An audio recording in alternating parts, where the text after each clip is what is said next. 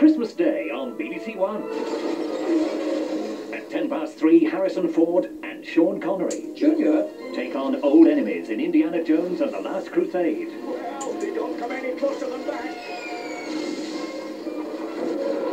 There's festive fancy footwork at 5.20, but it's all too much for Bruce. At 6.25, not everyone's having a Merry Christmas in Albert Square. I keep seeing is her face looking at me. Should be me in that hospital.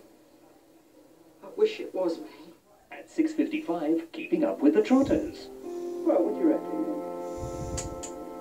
What do I reckon? The last time I saw a place like this was in that film, Gorillas in the Mist. It's a jungle. Who knows what lives in there? Oh. Christmas Day on BBC One. BBC Two begins Christmas Day on the wing with Alfred Hitchcock's classic thriller with Tippi Hedren and Rod Taylor being attacked by the birds in 25 minutes.